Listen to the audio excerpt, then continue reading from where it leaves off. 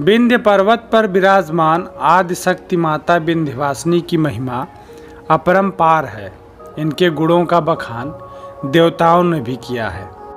माँ विंध्यवासिनी के धाम में दर्शन पूजन करने से भक्तों की सारी मनोकामनाएँ पूरी होती हैं। विंध्य पर्वत की विशाल श्रृंखला को विंध्याचल में ही पतित पावनी गंगा स्पर्श करती हैं। ऐसा माना जाता है इसी स्थान पर आदिशक्ति माता विंध्यवासिनी अपने पूरे शरीर के साथ विराजमान रहती हैं। नवरात्र पर यहाँ पे इतनी ज़्यादा भीड़ होती है कि तीन किलोमीटर का एरिया तीर्थ स्थल घोषित कर दिया जाता है। यहाँ माता अपने तीनों रूप, महालक्ष्मी, महाकाली व महासरस्वती के रूपों में, त्रिकोण के रूप में विराजमान है। अगर कोई भी भक्त यहाँ माता विंध्यवासिनी का दर्शन करने आता है तो उसे त्रिकोण की यात्रा ज़रूर करनी चाहिए। और जो भी भक्त यहाँ पे आता है, वो सबसे पहले माँ विंध्यवासिनी का दर्शन करता है, फिर अष्टभुजा, फिर काली खो और इन तीनों मंदिरों के दर्शन को त्रिकोण माना जाता है। त्रिकोण पथ पर पहली देवी हैं माँ विंध्यवासिनी, जिन्हें महालक्ष्मी भी कहा जाता है। त्रिकोण पथ पर दूसरी देवी हैं माँ काली, जो कि काली खो में विराजमान है। इन्हें महाकाली भी कहा जाता है। माता अष्टभुजा इस त्रिकोण पथ पर तीसरी देवी हैं, जो महासरस्वती की रूप मानी जाती हैं और ये मंदिर भी विंध्य पर्वत पे ही स्थित है। तो अगर आप त्रिकोण की यात्रा करते हैं तो इन तीनों मंदिरों का दर्शन कर पाएँगे। मान्यता है कि माँ अष्टभुजा भगवान श्री कृष्ण की बहन है। जन्म के बाद जब क्रूर कंस ने इन्हें उठाकर पत्थर पर पटकने की कोशिश की तो वह कंस के हाथों से छूटकर आसमान के माध्यम से विंध्याचल पर्वत की गुफा में विराजमान हो गई थी। अगर आप बस से विंध्याचल आना चाहते हैं तो आप लखनऊ से, कानपुर से, इलाहाबाद से और वाराणसी से बस के द्वारा आ सकते हैं।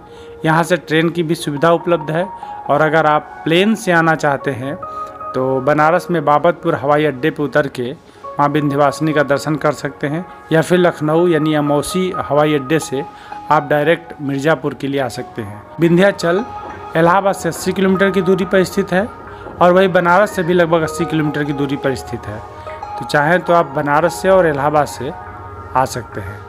अगर हम विंध्याचल या त्रिकोण मंदिरों के खुलने की बात करें तो यह भोर में चार बजे खुल जाते हैं और लगभग साढ़े दस बजे ये मंदिर बंद होते हैं। विंध्याचल मंदिर के आरती का टाइमिंग सुबह चार बजे से पाँच बजे तक है।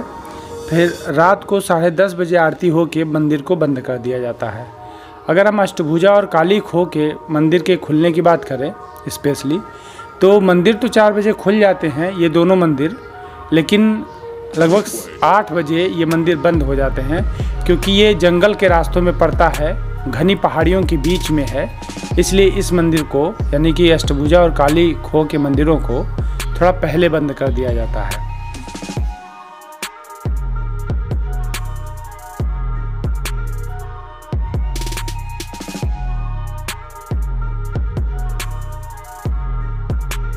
जिस प्रकार काशी विश्वनाथ कॉरिडोर संपन्न हुआ है वाराणसी में, और अयोध्या कॉरिडोर और अयोध्या मंदिर संपन्न हो रहा है, अयोध्या में उसी प्रकार माँ विंध्यवासिनी का भी कॉरिडोर बनना शुरू हो गया है और जल्द ही संपन्न होने वाला है। और आप ये व्यू देख सकते हैं, इसमें मंदिर का नक्शा दिखाया गया है और इसी नक्शे पे माँ विंध्यवासिनी का मंदिर संपन्न होगा। ये वीडियो आपको कैसी लगी कमेंट करके ज़रूर बताएँ। अच्छी लगी हो तो लाइक करें और चैनल को सब्सक्राइब ज़रूर करें। तो फिर मिलते हैं अगले वीडियो में। और हाँ इस वीडियो को उन लोगों तक ज़रूर शेयर करें जो माँ विंध्यवासिनी का या त्रिकोण यात्रा करना चाहते हैं। तो एक बार प्रेम से बोलिए जय माता दी।